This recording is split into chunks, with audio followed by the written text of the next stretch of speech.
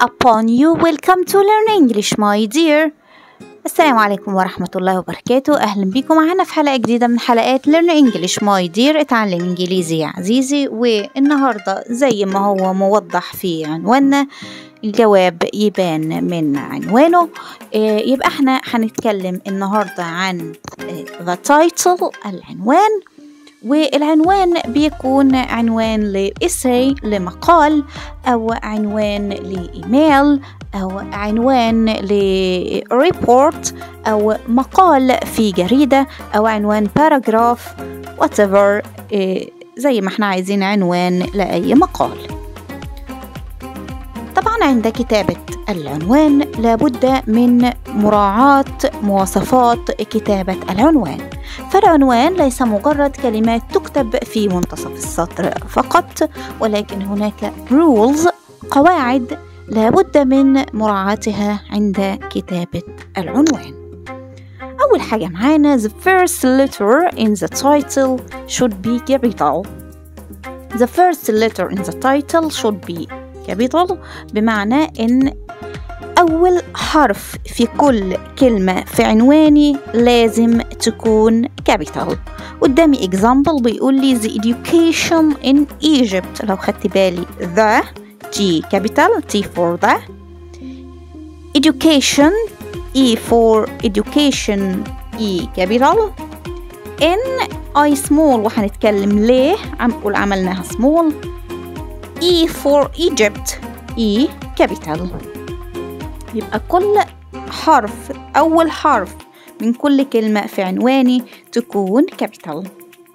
فيما عدا ال prepositions حروف الجر اللي زي in on out of of آه العنوان اللي فات اللي قابلنا اللي آه حرف الإن فيه كانت I for in small دلوقتي هنعرف ليه لأن البروبوزيشن بكتبها small letter. يبقى البروبوزيشن in on out of and so on should be small letter. إيه تاني؟ إيه عندي كمان؟ connectors الروابط اللي زي and or so. But should be small letter. يبقى لو قابلني رابط في عنوان هكتبه small letter. رابط زي and or so أو but. يبقى ال prepositions small connectors small ما عدا باقي الكلمات في ال title تكون capital. إيه تاني يكون small articles.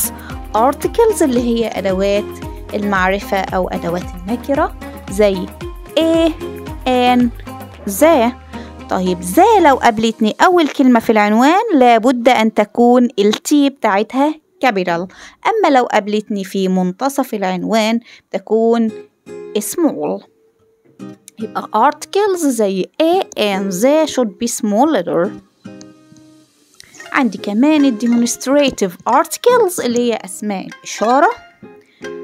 مثل this اللي هو اسم إشارة للبعيد لل... سوري للقريب أو that. اسم إشارة للبعيد should be small letter. يبقى demonstrative articles أو أسماء إشارة. لابد وأن تكون small letter في كتابة العنوان. هنتكلم في جزئية تانية تخص أسماء الإشارة. أهي قابلتنا. اسم الإشارة عندي لو كان زيس وهو جمع this أو لو كان زوس وهو جمع ذات لو خدت بالي this مكونة من أربع حروف. في الحالة دي أكتبها small letter في التايتل أما لو الجمع بتاعها هيكون مكون من خمسة أحرف أو أكثر يعني أعد حروف زيس أو أعد حروف زوس هتلاقيهم خمسة أحرف. في الحالة دي هكتبه capital letter. كذلك above أو أي حرف جر يكون أكتر من خمسة أحرف. أكتبه capital. طيب في ال title في العنوان لو كان ال title اللي أنا هكتب مقال مثلا وهتعجب من شيء ممكن أحط في آخره exclamation mark. زي ما أقول what a mess. يا لها من فوضى. what a life يا لها من حياة. أحط exclamation mark. لو كان عنواني ال title بتاعي عبارة عن تساؤل أحط question mark زي ما أقول what time. لا نضع في آخر العنوان full stop لأن اتفقنا العنوان أنا بكتبه في النص والعنوان بيكون عبارة غير مكتملة المعنى فما ينفعش أحط في آخرها full stop لأن العنوان يعتبر phrase وليس sentence يعني يعتبر عبارة أو جملة غير مكتملة المعنى فما ينفعش أضع في نهاية عنواني full stop بخلاف ال exclamation mark أقدر أحطها بخلاف ال question mark أقدر أحطها. زي ما قلنا لو وصل عدد أحرف حروف الجر أو الروابط أكتر من خمسة بكتبها capital وليس small كانت نقطة مهمة لابد أن نوضحها. في النهاية بحب أشكركم. Thank you for listening to me. See you next time. إن شاء الله. و don't forget like like like. Goodbye.